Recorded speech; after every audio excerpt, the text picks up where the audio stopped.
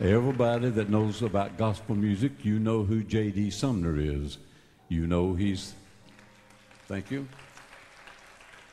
You know he's the lowest bass singer in the world. If you don't believe it, just ask him. He's, he's even in the Guinness World Book of Records for singing the lowest note ever recorded. Now, I think he ought to be in there for some other things, but I won't say what. But a lot of people don't realize what a great songwriter he is. We did one on our uh, next to our last album that uh, we enjoy singing. I hope you will. It's entitled "I'm to Serve the Lord Today."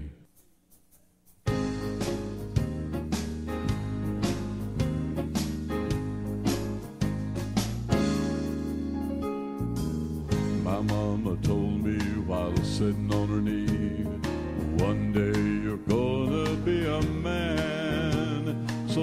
start now and you'll make it somehow. Take this book and read God's plan. I trust God for my tomorrow.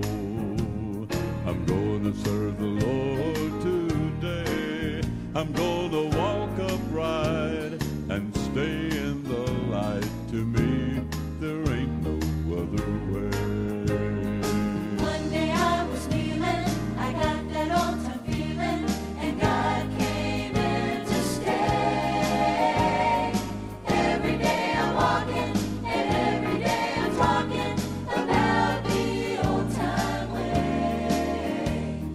I'm looking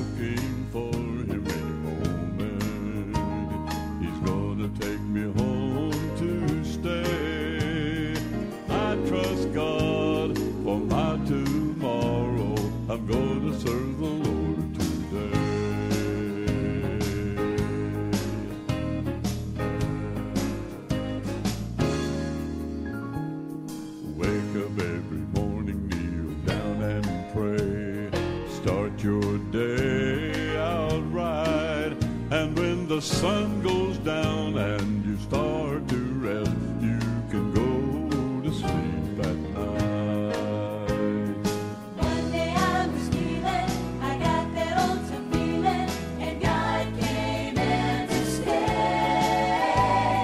Every day I'm walking, and every day I'm talking about the old time way. I'm looking for